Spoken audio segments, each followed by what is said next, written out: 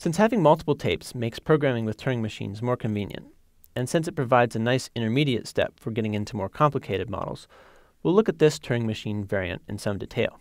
As shown in the figure here, each tape has its own head, and what the Turing machine does at each step is determined solely by its current state and the symbols under these heads. At each step, it can change the symbol under the heads and move each head to the right or the left, or just keep it where it is. With a one tape machine, we always force the head to move, but if we required that condition for multi tape machines, the differences in head positions would always be even, which leads to awkwardness in programming. So it's better to allow the heads to stay put. Except for those differences, multi tape Turing machines are the same as single tape ones. We only need to redefine the transition function.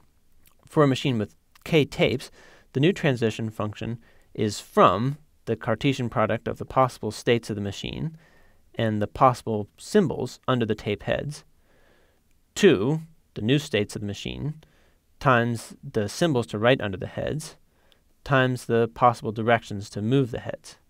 Everything else stays the same.